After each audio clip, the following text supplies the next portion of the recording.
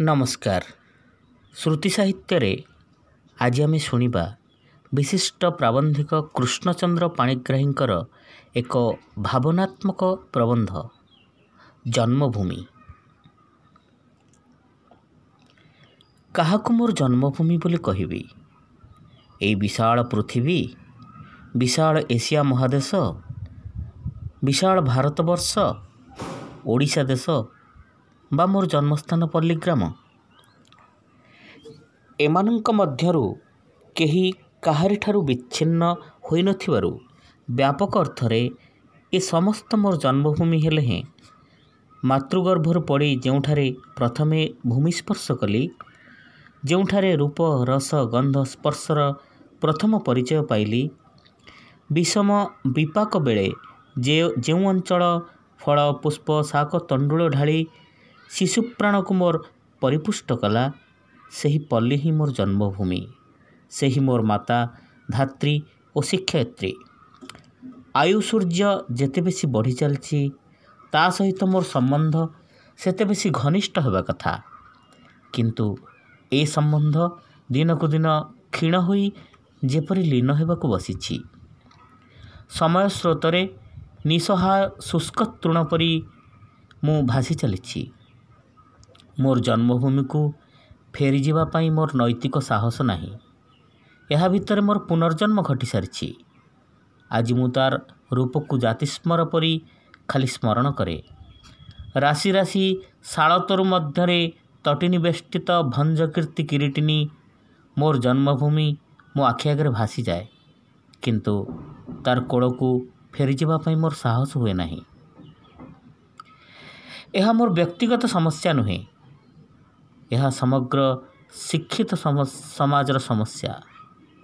ଧର୍ମାନ୍ତର ଗ୍ରହଣ କଲା ପରେ ବହୁ ଧର୍ମାନ୍ତର ଦୀକ୍ଷିତ ବ୍ୟକ୍ତି ଯେପରି ଧର୍ମ ପାଖରେ ସମସ୍ତ ମାନବିକତାକୁ ଉତ୍ସର୍ଗ କରି ସେମାନଙ୍କର ନାମ ପଦବୀ ଭାଷା ଆଚାର ବ୍ୟବହାର ବେଶଭୂଷା ଇତ୍ୟାଦି ସବୁ ବଦଳାଇ ଦିଅନ୍ତି ଓ ଶେଷକୁ ଜାତୀୟତା ଭୁଲି ଯେପରି ନିଜର ଜନ୍ମଭୂମିକୁ ସୁଦ୍ଧା ଅସ୍ୱୀକାର କରନ୍ତି। ଠିକ୍ ସେହିପରି ସଂଖ୍ୟାତୀତ ଶିକ୍ଷିତ ବ୍ୟକ୍ତି ପ୍ରଚଳିତ ଶିକ୍ଷା ପାଖରେ ସେମାନଙ୍କର ସମସ୍ତ ମାନବିକତାକୁ ଉତ୍ସର୍ଗ କରି ଶେଷ ବେଳକୁ ନିଜର ଜନ୍ମଭୂମିକୁ ସୁଦ୍ଧା ପାଶୋରି ପକାନ୍ତି। ଶିକ୍ଷା ସମାପନ ସଙ୍ଗେ ସଙ୍ଗେ ସେମାନଙ୍କର ଏକ ପ୍ରକାର ପୁନର୍ଜନ୍ମ ଘଟିଯାଏ। ପଲ୍ଲୀଗ୍ରାମକୁ ଫେରିଯାଇ ଜୀବିକା ଅର୍ଜନ କରିବା ଦୂରେ ଥାଉ। ସେଠାରେ କିଛି କାଳ ଅବସ୍ଥାନ କରିବା ମଧ୍ୟ ସମ୍ଭବପର ହୁଏ ନାହିଁ। ଏଣୁ ଥରେ ଥରେ ଭାବେ ଗ୍ରାମକୁ ଯାଇ କ'ଣ କରିବି?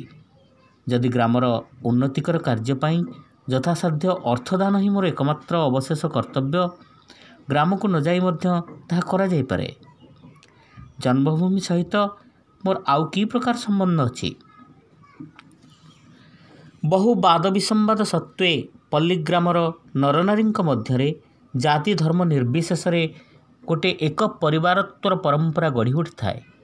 କେହି ଭାଇ କେହି ଭଉଣୀ କେହି କକା କେହି ଖୁଡ଼ି ଇତ୍ୟାଦି ଭାବରେ ସମସ୍ତ ଗ୍ରାମବାସୀ ପରସ୍ପର ମଧ୍ୟରେ ପରିଚିତ ହୋଇଥାନ୍ତି। ମୋ ଜନ୍ମଭୂମି ସହିତ ଏ ମଧୁର ସମ୍ବନ୍ଧ ମୋର ଆଉ ନାହିଁ। ଗାଁଟି ଯାକର ଭାଇ ଭଉଣୀ କକା ଖୁଡ଼ି ମାମୁଁ ମାଇଁ ମଉସା ମାଉସୀ ଇତ୍ୟାଦି ସବୁ ପର ହୋଇଗଲେଣି। ଚେଷ୍ଟା କଲେ ମଧ୍ୟ ଏ ମଧୁର ସମ୍ବନ୍ଧ ଆଉ ଫେରି ପାଇବା ସମ୍ଭବ ନୁହେଁ। ଗାଁ ମୁଣ୍ଡର ସାର ମାଉସୀ ତାର ଛୋଟ ପିଣ୍ଡାଟିରେ ବହୁ ବର୍ଷ ଧରି ପ୍ରତିମୂର୍ତ୍ତିଟିଏ ପରି ବସିଛି। ଆଜି ମଧ୍ୟ ବସିଥାଏ। ଆଗ ଦେଖିଲା ମାତ୍ରେ ପଚାରୁଥିଲା କେବେ ଆସିଲୁ ବାପା? ଆଜି କିନ୍ତୁ କହେ କେବେ ଆସିଲ ବାବୁ? ଗ୍ରାମର ମଝିରେ ଗୋବିନ୍ଦା ଭାଇର କ୍ଷୁଦ୍ର କୁଟୀର। ଆଜୀବନ ଅକର୍ମା ଓ ଅବିବାହିତ ରହି ସେ ତାର କ୍ଷୁଦ୍ର କୁଟୀରଟିକୁ ଦୁର୍ଗ କରି ସମଗ୍ର ବିଶ୍ୱ ବିରୁଦ୍ଧରେ ବିଦ୍ରୋହ ଘୋଷଣା କରିଆସିଛି। ଆଗେ ଦେଖା ହେଲେ ବହୁ ମାନ ସହିତ ସେ ମୋତେ ତାର କୁଟୀରରେ ବସାଇ ମନବୋଧ ଚଉତିଶାର ବ୍ୟାଖ୍ୟା କରୁଥିଲା। ଆଜି ମୁଁ ଶତତ୍ରିଶଟା କଲେ ମଧ୍ୟ ତାର ପୂର୍ବ ପ୍ରତ୍ୟୟ ଆଉ ଫେରିପାଏ ନାହିଁ। ଗ୍ରାମଟି ଯାକ ନବାଗତ ଅତିଥିରେ ପରିପୂର୍ଣ୍ଣ ହୋଇଗଲାଣି। ଯେଉଁ ଆଡ଼କୁ ଚାହିଁଲେ ଶୀର୍ଣ୍ଣ ମଳିନ ଉଲଗ୍ନ କୃଷୋଦର ଲମ୍ବୋଦର ଅବାଞ୍ଛିତ ଅବହେଳିତ ଶିଶୁମାନଙ୍କର ସମାବେଶ ଦେଖାଯାଏ। ଏମାନଙ୍କ ମଧ୍ୟରୁ କେହି ସୁଦ୍ଧା ମୋତେ ଜାଣନ୍ତି ନାହିଁ। କେବେ କେବେ ଦେଖାହେଲେ ଆଫ୍ରିକାରୁ ନବାଗତ ଜେବ୍ରା ବା ଜିରାଫକୁ ଚାହିଁଲା ପରି ସେମାନେ ମୋତେ ଖାଲି ଚାହିଁ ରହନ୍ତି। ଗ୍ରାମବାସୀମାନଙ୍କ ମଧ୍ୟରୁ ଯେଉଁ ଶିକ୍ଷିତ ଓ ଅର୍ଦ୍ଧଶିକ୍ଷିତ ନବଯୁବକମାନେ ଚାକିରି ନ ପାଇ ଜନ୍ମଭୂମି ଛାଡ଼ି ନାହାନ୍ତି ସେମାନେ ରାଜନୀତିର ଆଶ୍ରୟ ନେଇଛନ୍ତି। ଏମାନଙ୍କ ମଧ୍ୟରୁ କେହି କଂଗ୍ରେସୀ କେହି ଗଣତନ୍ତ୍ରୀ କେହି କମ୍ୟୁନିଷ୍ଟ ତ କେହି ସୋସିଆଲିଷ୍ଟ। ଯଦି କେହି ଏହି ରାଜନୈତିକ ମତବାଦ ମଧ୍ୟରୁ କୌଣସିଟିର ଅନ୍ତର୍ଭୁକ୍ତ ନୁହେଁ ତାହେଲେ ସେ ଏମାନଙ୍କ ମଧ୍ୟରେ ସୁଦ୍ଧା ଅନ୍ତର୍ଭୁକ୍ତ ନୁହେଁ। ଅନ୍ୟ କଥା ଦୂରେ ଥାଉ। ଏମାନଙ୍କ ସହିତ ପଲ୍ଲୀ ପ୍ରକୃତିର ଶୋଭା ଉପଭୋଗ କରିବା କିମ୍ବା ସାହିତ୍ୟ ଚର୍ଚ୍ଚା କରିବା ମଧ୍ୟ ସମ୍ଭବ ନୁହେଁ।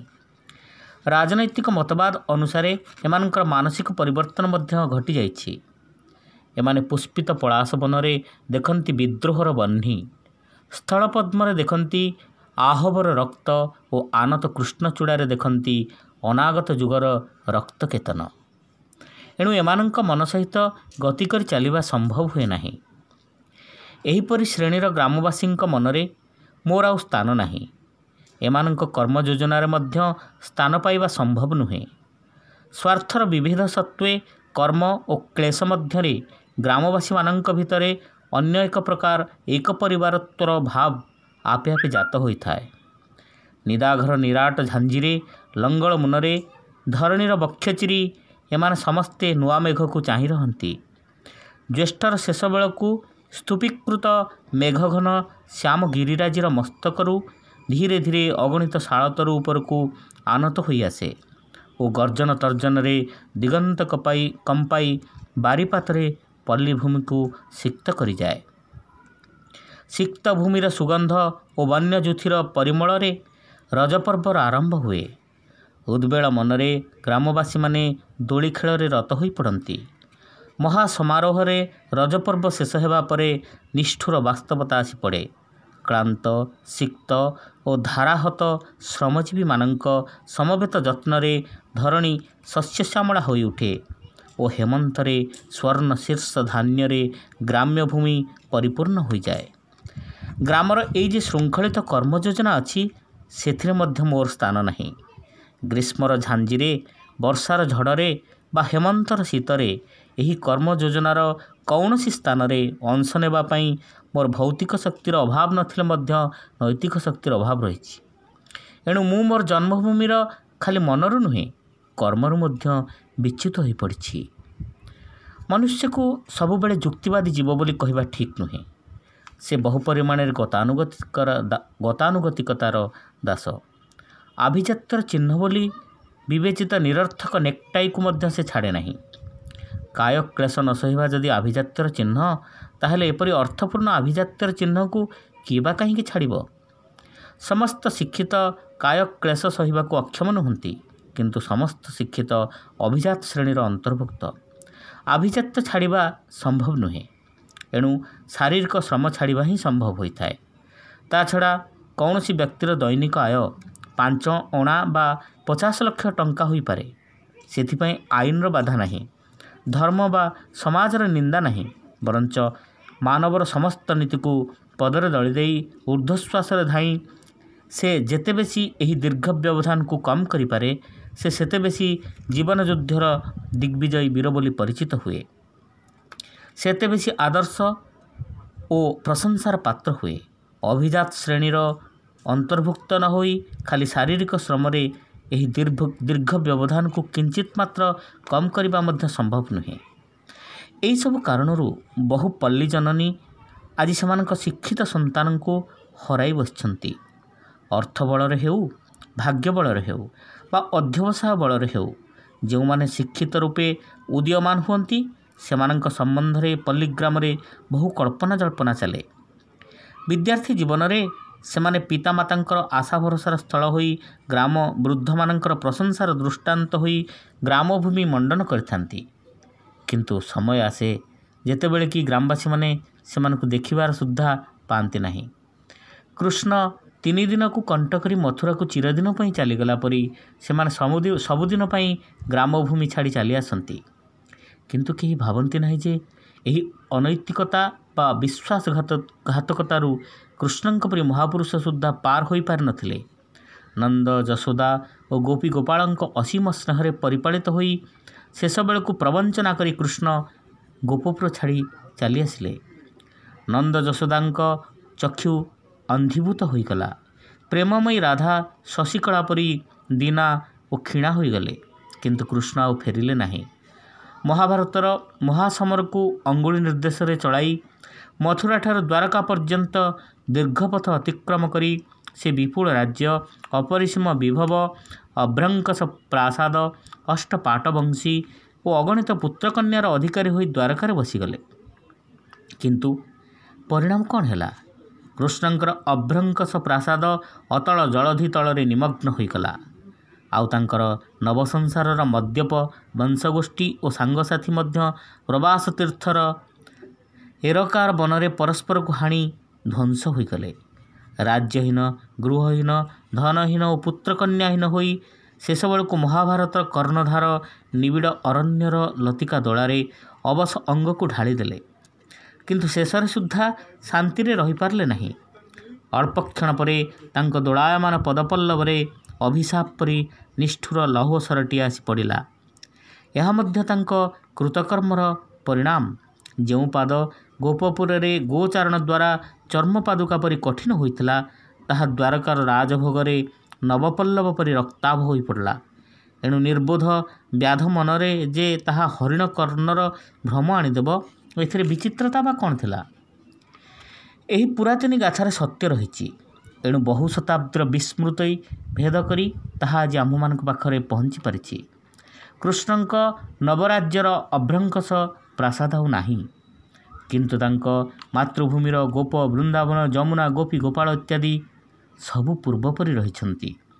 ପୂର୍ବ ପରି ଆଜି ମଧ୍ୟ ଯମୁନା ବହି ଚାଲିଛି।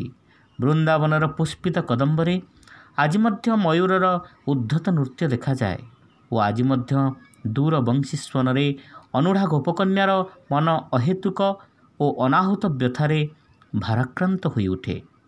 କୃଷ୍ଣଙ୍କର ଏହି ଅମର ଗାଥାରୁ ବହୁ କଥା ଶିଖିବାର ଅଛି।